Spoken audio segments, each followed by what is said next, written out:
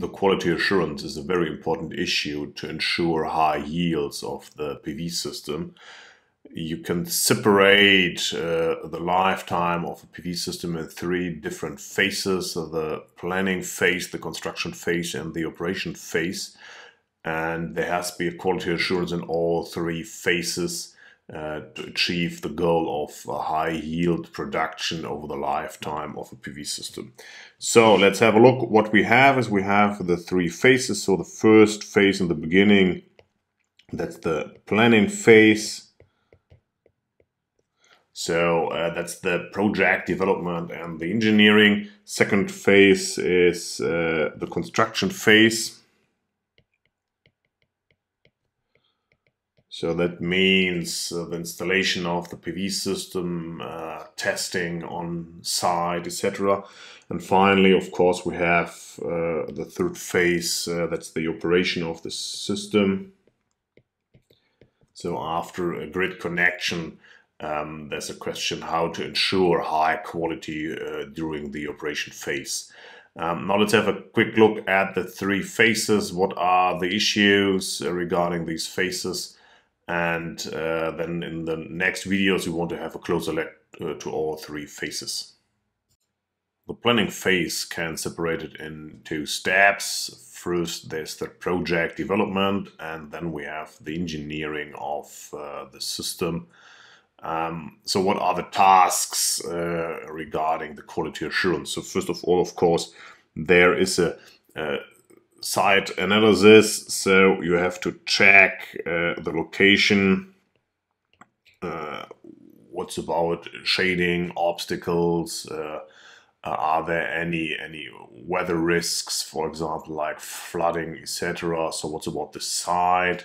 Then, of course, you need to understand the uh, solar irradiance on site. So there's the um, irradiance analysis by using weather data, radiation information from different sources um, to predict uh, the radiation for the next 20 or even 25 years. So what the probability of, ra uh, of radiation which can be used uh, to generate electricity.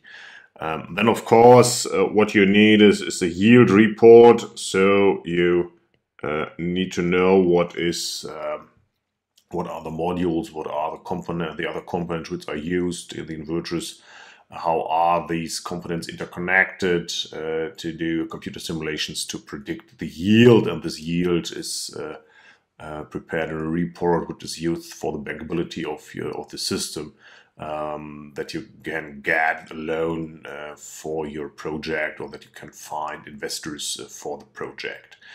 Um, of course, uh, what you then also need is uh, a component benchmarking. Component benchmark. So what's about the technology? What's about the modules? Do they have all the certificates? Do they have, of course? Uh, what's about the track record of manufacturers? Uh, if you uh, think about uh, the use of new technologies, um, what's about the reliability of these components. So there's a component benchmark you should uh, do.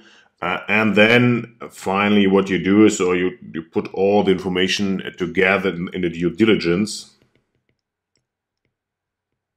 So there are three parts. We have the technical due diligence, the financial, and there's also a legal due diligence you have to do uh, for investors. Uh, so that's uh, an overall report, an investigation in all three uh, aspects, the technical, the financial, and the legal aspects of the project, what's about the contracts uh, with the EPC, um, etc to be sure that in case of any uh, warranty issues, uh, you know what to do, who to contact, um, etc. So that are uh, the topics you have to do during the, uh, the, planning phase. Next, we'll have a look at the uh, construction phase, what is important during the, uh, the second phase uh, of constructing a PV system. One issue during the construction phase is the inspection on site, so that the technical experts go on site, uh, have a look what is going on, um, and uh, document uh, all the phases of the construction phase um, in order to identify problems or issues uh, which can be addressed. Of course, that's very important as you can solve problems during the construction phase rather easily. Um, after uh, the grid connection during the operation phase, it's uh, more complicated to, to uh, solve uh, severe issues. So that's uh, one important issue that you inspect the construction phase on site. Um, then, of course, what you need is a quality um, assurance of the solar modules. So what you do is typically you, you do on-site checks after the installation of the first, uh, first modules. So we have the sampling or let's call this uh, quality assurance of the PV modules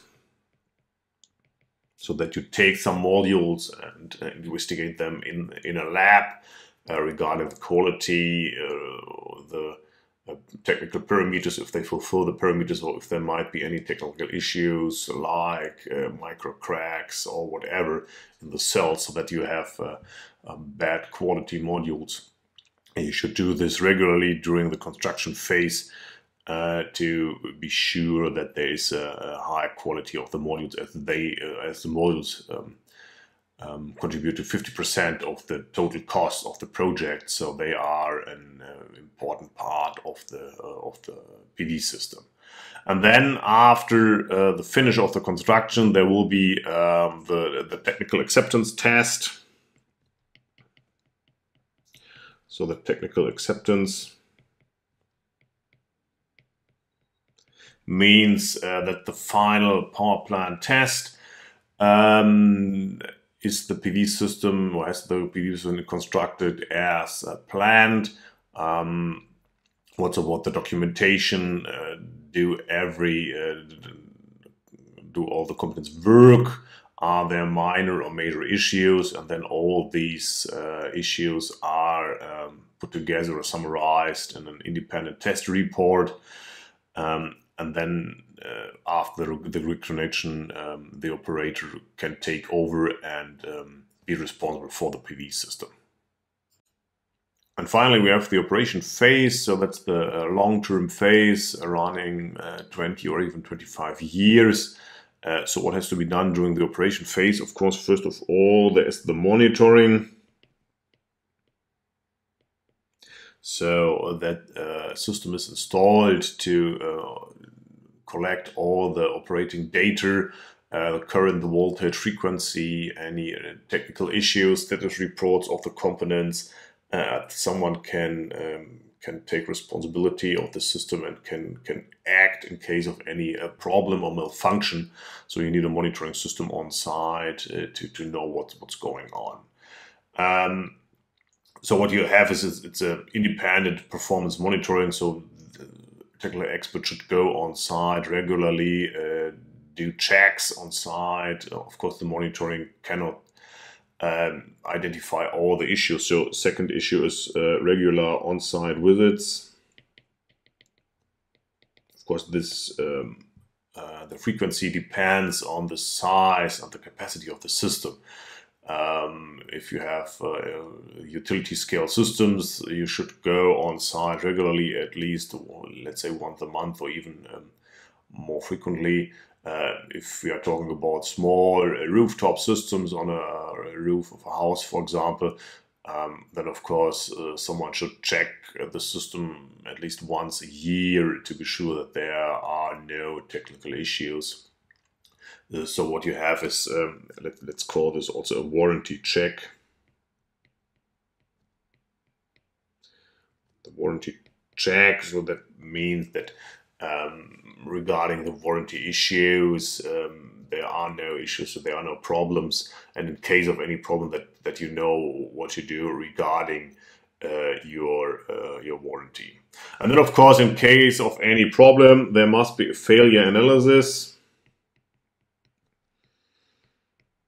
So what are the reasons uh, for uh, the malfunction, for the failure? Um, there should be a reporting, in particular in case of uh, major malfunctions.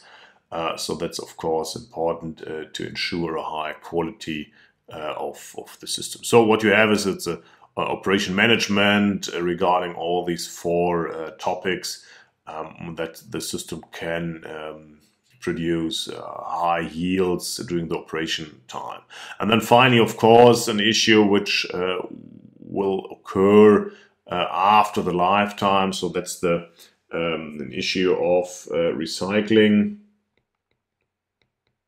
so in case you have to demolish the system, what you do with all the components. So you have the recycling after the lifetime of 20 or even 25 years. And uh, one issue which might be interesting is, of course, the repowering. So that means that uh, after several years, uh, there might be uh, better components uh, with a higher efficiency so the, that you exchange uh, the inverters, the modules, um, uh, to increase the capacity, to increase the efficiency of the system. And that, uh, of course, is also an issue um, which uh, occurs after several years of operation, let's say 10 or even uh, 15 years, or, of course, in case of any technical issues that you have uh, um, modules which show bad quality or technical issues, that you exchange them and uh, do a repowering in this case. And all these uh, three phases um, and then recycling, repowering uh, helps you to ensure the high quality of system um, and the, the, goal of high yields. And what we'll do next is uh, that we have a look at the uh, three phases in detail, what you have to do in the three phases to get a high quality PV system.